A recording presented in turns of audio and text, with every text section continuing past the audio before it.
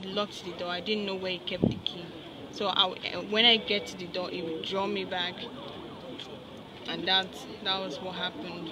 Okay, Based uh, on the police report now, they said you allegedly stabbed him on three separate occasions. So what, you know, what prompted you to do so? And three times. three times, yes, what prompted you to do so? The, the the the first one was both. The first one was twice. The? Where? The first one on on the neck side. That was the first one, and then when when I stabbed him the the first one twice, I threw the knife on the bed. Then he was going for it while I went for it. So while I laid on the bed, that's when it came on me to to hold the knife and that's when I managed to stab him with the knife and then he- and then when he dragged the knife from me he managed to slice my hand and then as he was holding it the knife broke so it slipped off from his hand I still managed to held held to it but then it was now weak and then he fell on the floor Okay, so why why didn't you like? What was it about the first time that you didn't like? What did he do to you, or what happened? I was I was I was trying to eat- I was sleep I was trying to sleep. It was midnight, so we, we have drank and we have um, smoked. So I was already like sleepy, and then Continue. and then I was already sleepy, and then when it came onto me, I was resisting. That was what happened. It was it was violent about it. Okay, what kind what kind of smoke? You mentioned smoke two times. What did you guys smoke?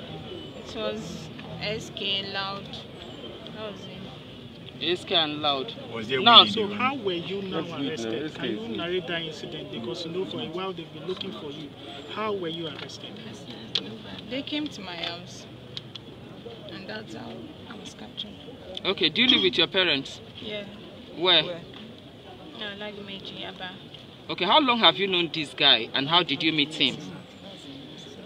Uh, I've known him for four months, five months. I met him through friend.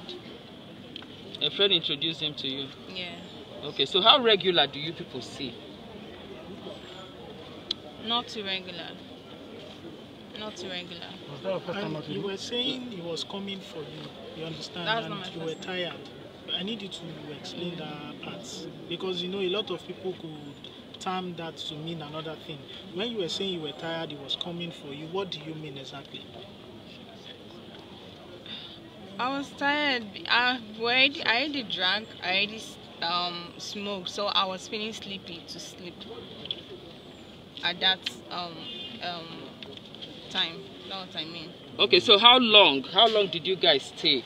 Did you check in on Sunday? When did he die? Which day did he die? And when did you leave him? And how were you able to escape from the room after killing him, or you just walked away?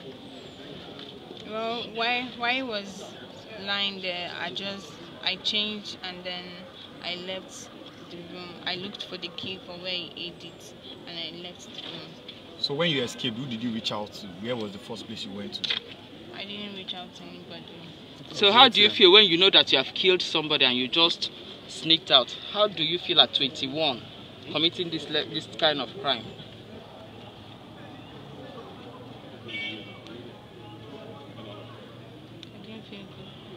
What did you do with the ATM letter?